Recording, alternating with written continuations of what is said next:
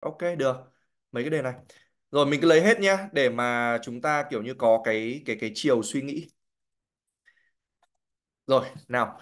Đây, các bạn sẽ xem xem mấy cái đề này nhá Thứ nhất là chúng ta có là một số người muốn này, government spend money looking for life on an, on other planets. Một số người muốn rằng là chính phủ hãy đầu tư tiền để mà tìm kiếm những cái sinh vật đúng không? Xong rồi là các cái cuộc sống hay là các cái môi trường sống ở một cái hành tinh khác. Ừ, hành tinh khác. Ờ, một số người khác thì lại nghĩ rằng đây là một cái sự lãng phí về mặt tiền bạc và từ đó nên đầu tư vào những thứ gì mà nó đáng hơn trên trái đất. Đó, discuss cả hai cái views này. Ờ, rồi. Thế thì bây giờ nào mình xem xem là chọn chọn fair hay là balance nhỉ? Cái nào cũng được á. Tuy nhiên là kiểu như phân tích xem là nó có hợp lý hay không ấy. Một bên này thì đó là tìm kiếm cuộc sống ở hành tinh khác. Đấy, một bên thì nghĩ rằng đây là một cái waste of money. Và khi đó còn nhiều vấn đề. Từ từ này em thấy là A và B ấy. Đây là A đúng không? Đấy, còn đây là B đúng không? B.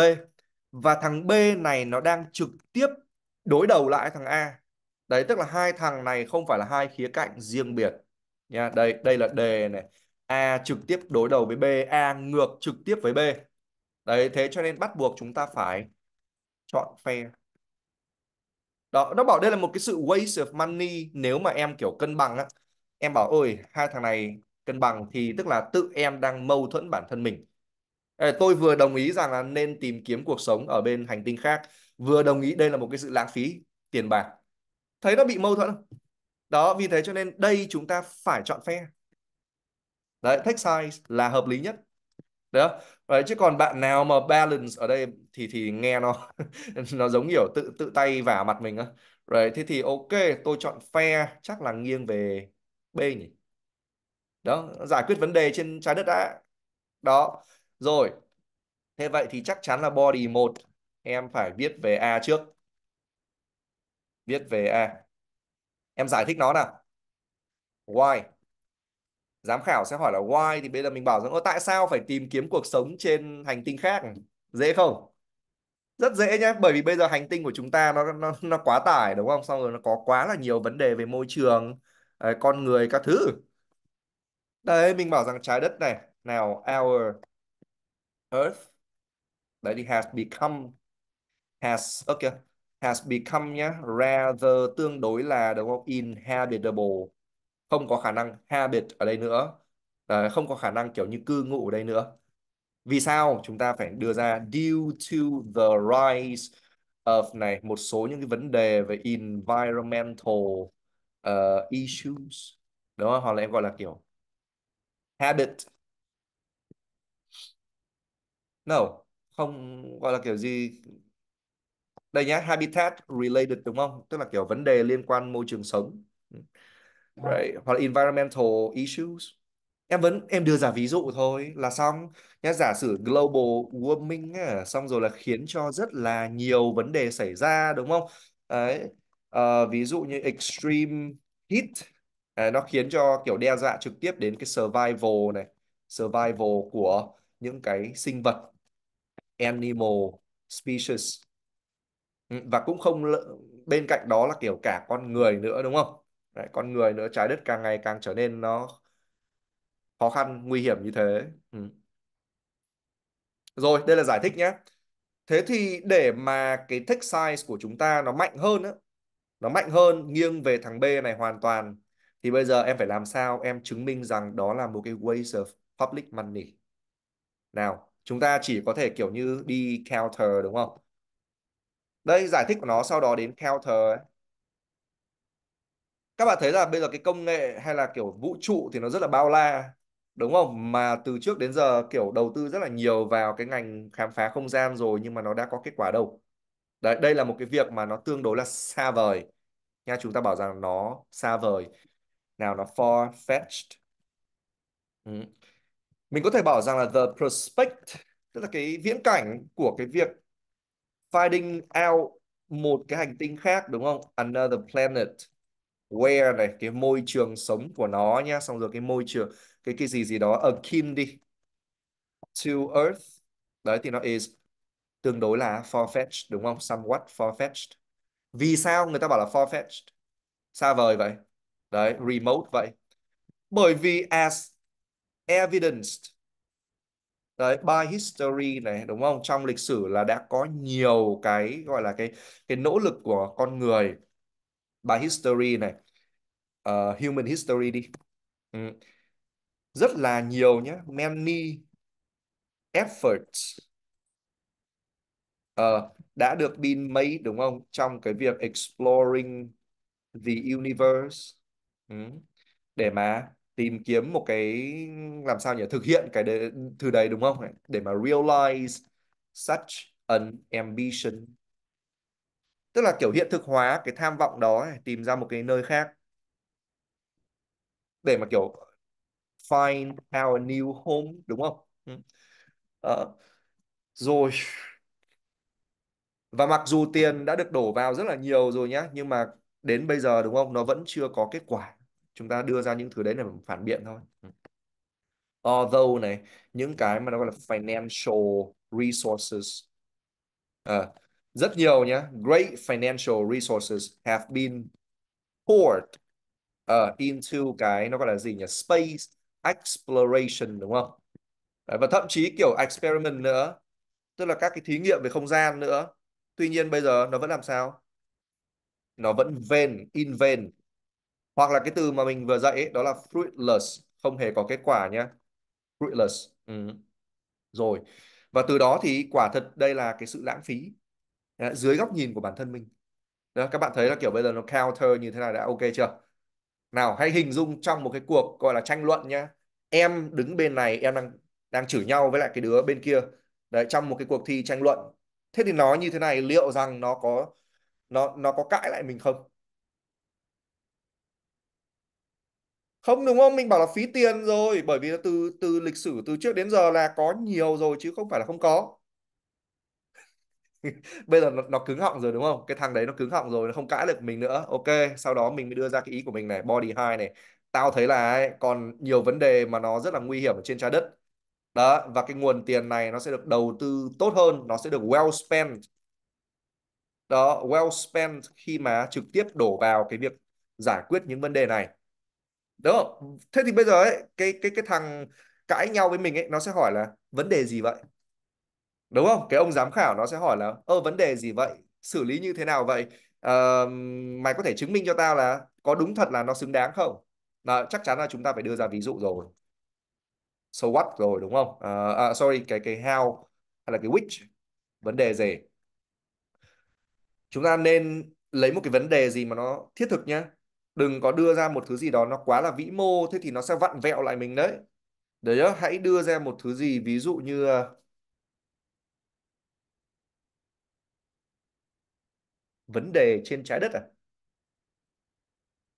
Nào, các bạn thử nghĩ xem cái gì mà kiểu đổ tiền vào cái là nó có tác dụng luôn á. Bởi vì mình đang nói là tiền. Đấy, poverty à. Được em ơi. À? được, poverty đúng không? Đấy chứ còn bây giờ bạn nào mà bảo rằng đổ vào cái climate change rồi dồi ôi nó nó mơ hồ quá. Mình lấy ví dụ để mà thuyết phục nó mình cũng phải khéo. Nhá chứ còn bạn bạn bảo là climate change thì bây giờ ấy, nó còn chưa tìm ra được cái solution. Ông dù ông có đổ tiền vào thì nó cũng rất là kiểu năm mươi năm mươi. Thế thì mình làm sao mà mình thuyết phục được nó? Đúng không? Right climate change là một cái thứ mà nó rất là mơ hồ. Lấy cái gì đó nó trực tiếp vào đấy chỉ cần gọi là đổ tiền vào cái thôi là nó ok ngay. Rồi poverty nhá ờ, đói nghèo.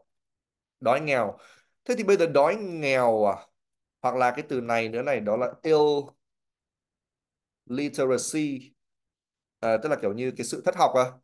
Rồi em đổ tiền vào em xây trường học đúng không? Xong rồi em cung cấp những cái nguồn trợ cấp về social welfare. Uh, welfare và thứ hai là building schools đó phổ cập giáo dục á. Đấy thì mình có thể bảo education promotion đúng không? Uh, promotion. Hoặc là schooling promotion đi thì tức là kiểu như phổ biến uh, xúc tiến.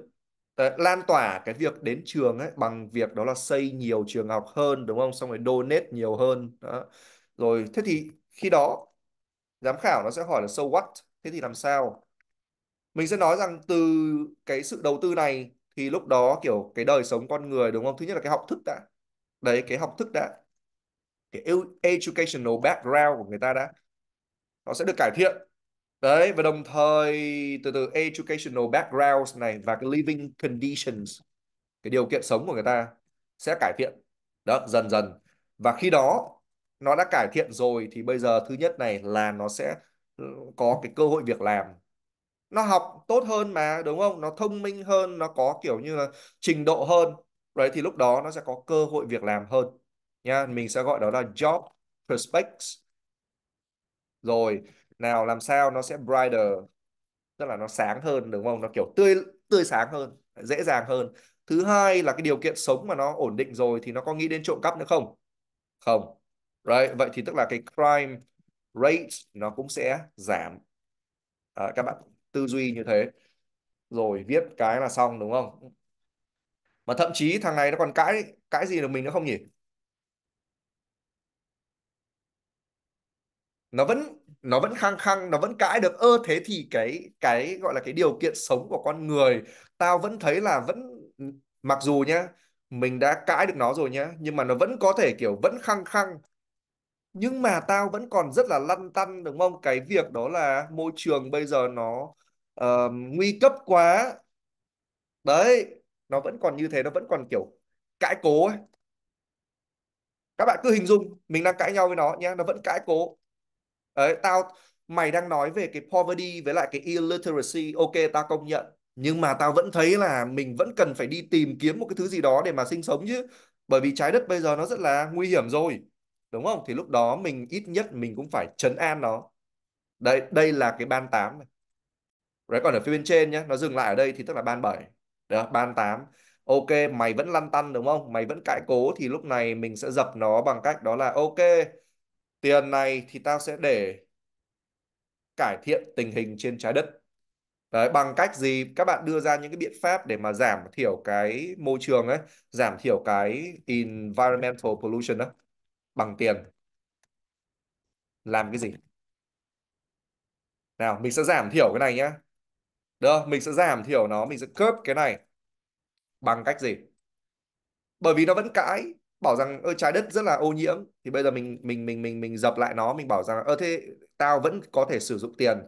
Thay vì cái việc là đi ra vũ trụ, tao dùng tiền đấy, tao làm cái hành động này. Nào bài cái gì? Các bạn nghĩ đâu? Nghĩ được cái đấy thôi là, ok, mở ra được cái cái cửa viết ban tám ngay